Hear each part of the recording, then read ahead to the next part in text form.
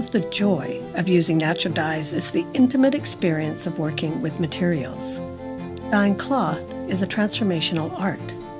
We're changing plants and insects into color, and we are transforming that color so that it will live a long and happy life on our cloth or yarn. Dyes and extracts, lakes, and pigments. Let's start with the raw material. This is usually known as the dye stuff. The dye stuff can be leaves, barks, roots, woods, berries, petals, or even insects. The dye stuff is the host material that contains the colorant we wish to use. To get the colorant out of the host material, we need to extract it from the host material, and the result is an extract. Let's say we're using madder root. The roots contain the colorants. Usually, we get the colorant simply by putting the plant matter in a water bath and gently heating it. As with making a cup of tea, how you make your extraction is important. The temperature of the water and the length of time you soak the plant material will all affect the outcome. Madder is especially sensitive to temperature. It contains multiple colorants that will come out at different temperatures. If we are working with powdered madder, making an extract and making a dye bath happen at the same time. But with some processes, such as yarn dyeing, we might wish to remove the plant matter before we put our yarns into the pot. So let's start here with the weld. This is grown in our dye garden very close to Vancouver here. This is dry plant material. Here we've got ground weld.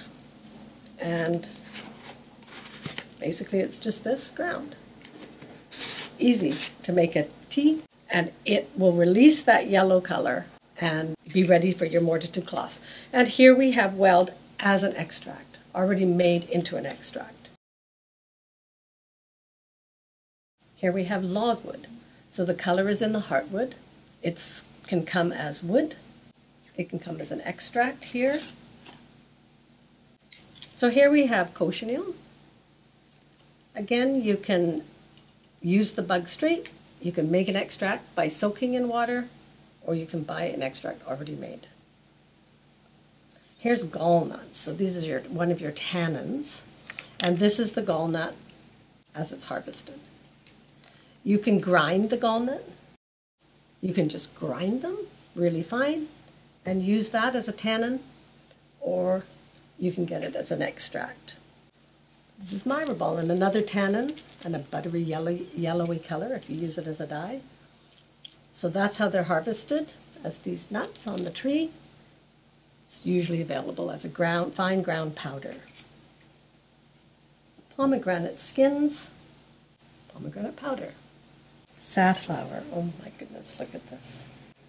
Safflower petals. Very, very famous dye. Used a lot in Japan. Coreopsis, another one that we grow in our dye garden and use it just like this. Sometimes we'll grind it. Generally, use it just as the petals. With some dyes, the extraction is a completely separate process. This is the case with kutch. Kutch is extracted from the heartwood of Acacia catechu, the wood is boiled for a very long time, and then the water is removed from the extract, and the resulting resinous substance is ground into a powder. Lac is another dye which is always used as an extract. The red lac extract powder is obtained from processing the lac insect and removing the shellac. Let's look at lac next. Lac starts here as stick lac you can see the sticks here.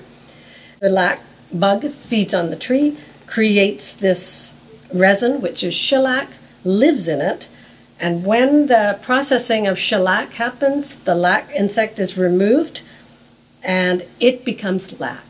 So, as a dyer, you rarely would buy your lac in this form, all with the shellac uh, there, you'd buy it in this form, which is just the bug separated out, and it is always an extract. Depending on how you buy your lac, where you buy your lac, some will be gummier than others and stickier than others, but um, it's always in an extract.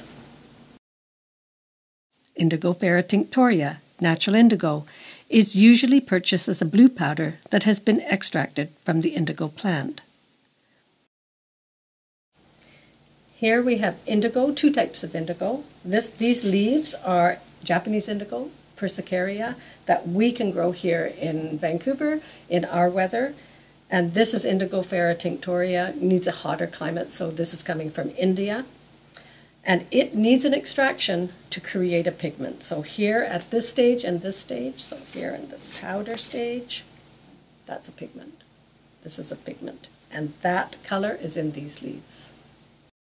So Kutch, lac, and indigo are usually purchased as extracts. Some dyes can be used either as raw material or as an extract. Some dyers like to work with extracts, and some dyeing machinery will not work with raw dye stuff. Moreover, some processes, like thickening dyes for printing, require the artisan to make a concentrated dye extract. When we use natural dyes in a dye bath, the dyes are almost always soluble. That is, the dye dissolves in water. In contrast, pigments are insoluble in water. We are familiar with many artist pigments such as charcoal and mineral oxides, such as those found in umbers and ochres. These are sometimes called earths or earth pigments, and they are always insoluble. So, on this side of the table, earth pigments many parts of the world have beautifully colored earth, mineral pigments, and that's what these are. So they're not a dye or an extract or lake, they are a pigment that cannot be dissolved in water and therefore needs some kind of a binder to connect them to fabric. We can also transform a natural dye into an insoluble pigment. When we do this, it is called a lake pigment. Any natural dye that can be used as a mordant dye can also be used to make a lake pigment. These are the basic differences between dyes, extracts, pigments, and lakes.